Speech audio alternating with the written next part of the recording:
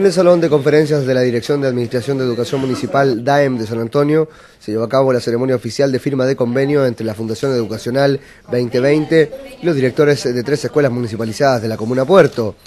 Este convenio o compromiso se enmarca en el programa de directores líderes de escuelas vulnerables, el cual se extiende a lo largo del país y tiene como objetivo mejorar la educación a través del trabajo para potenciar el liderazgo de los directores de establecimientos. El alcalde de San Antonio, Omar Vera, destacó la importancia de firmar este convenio, más aún teniendo en cuenta que estos son los tres primeros directores a nivel nacional en participar de este importante programa de apoyo para los mismos directores. Hoy día nosotros estamos reforzando el compromiso a través de la firma de este convenio con la Fundación 2020, pero esencialmente con eh, los directores eh, que están asumiendo este desafío.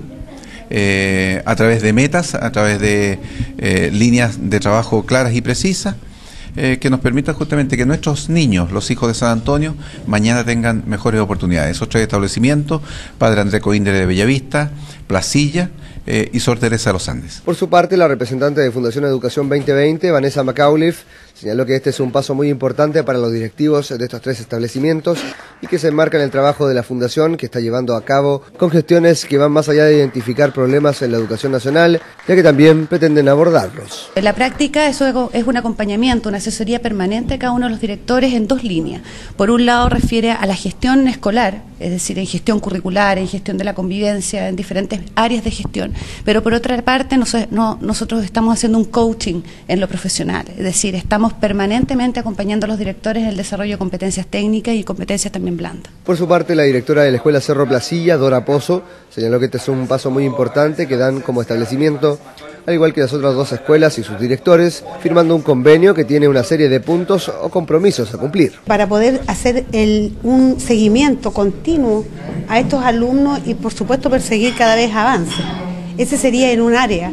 También podríamos decir que tenemos que dar resultados y mediciones de pruebas relacionadas con el currículum de cada curso.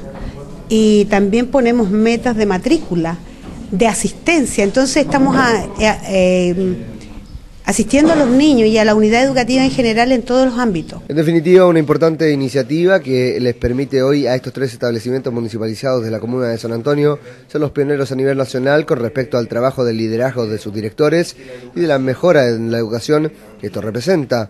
Un beneficio que repercute positivamente en los jóvenes y niños que forman parte de estas tres escuelas de nuestra zona.